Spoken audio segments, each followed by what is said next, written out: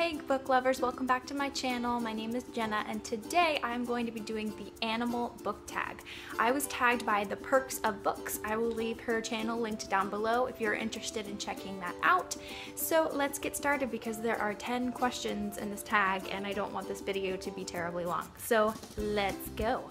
Question number one is an animal that only comes up for air, the whale. What is a book you only put down if you had to? I am choosing to go with To Kill a Mockingbird by Har Harper Lee. I read it for the first time this past summer and I loved it. I could not put it down. Question number two, Beautiful but Scary, The Lion. What is a great book that intimidated you at first? And I'm going to have to go with, it's a tag so I have to mention this book. I'm going with The Name of the Wind by Patrick Rothfuss. I was intimidated by this book at first because it is so long and it is an adult high fantasy, which I haven't read that much of. So, but I'm so glad I did because it's one of my favorite books ever now. Highly recommend. Question number three is every kid's favorite, The Goldfish. What is your favorite children's book or favorite book as a child? I obviously am going with The Hobbit by J.R.R. Tolkien. I love it. It needs no explanation. I just think it's the best children's story ever. So, The Hobbit. Question number four. I've got a big head and little arms, the T-Rex. What is a book that's strong in some areas but weak in others?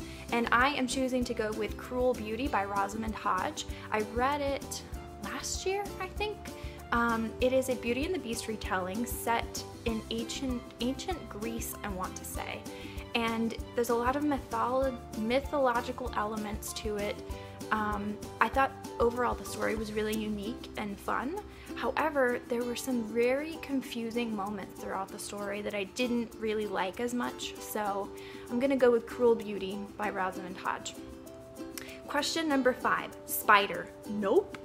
Name a book you have no intention of going anywhere near. Fifty Shades of Grey. Just gonna leave it at that. Question number six, the animal that repeats others, the mockingbird. What is your favorite adaptation or retelling? And I'm going with Scarlet by Marissa Meyer.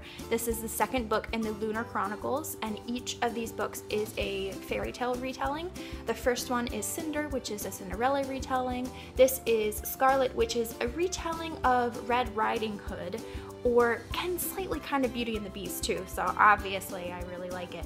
Um, the third one is called Cress, and that's a Rapunzel retelling, and the fourth one is Winter, which is a Snow White retelling. Um, I highly recommend this series if you like sci-fi, fairy tale retellings, or even fantasy. Really fast-paced and really fun series. Question number seven, The Laughing Hyena. Name a book that kept you laughing. And I'm going with For the Love by Jen Hatmaker. This is a nonfiction Christian living book and I loved it. I flew through it within a matter of a couple of days, I think. Hilarious. Um, she just has these little anecdotes throughout that are just so funny and she's obsessed with Jimmy Fallon so there are a lot of Jimmy Fallon like the Tonight Show references. So For the Love is really funny. Number eight, Mama Bear. Name a book with a fierce female character. And I am going with Kelsea from The Queen of the Tearling. She is so cool. Like, I, okay, if you've read this book, the coronation scene, the coronation scene. If you haven't, you need to read it, but that is one of my favorite moments throughout this story is the fact of what happens in that scene and the fact that she just pushed through it and just, yeah, yeah, the queen of the tearling. Kelsea's awesome. Name, oh, sorry, number nine, The Horrible Hateful Cat, a book you despise. And I'm going with a book that I mentioned in my last tag, and that is called The Beast Within by Serena Valentino. It is a kind of a backstory of the Beast from Beauty and the Beast, and I did not like it. Um, I could go on about this one. I didn't think the writing was that great. It was very confusing, and I, there are a lot of things that happened that I don't think would have happened to, with some of these characters. So I just didn't like it. it. It is kind of a middle grade story, so I wasn't expecting much as far as elevated writing or things like that. I love middle grade, but anyway, I just didn't enjoy The Beast Within like at all. and last question, number 10 Man's Best Friend, The Dog, a book by someone you know.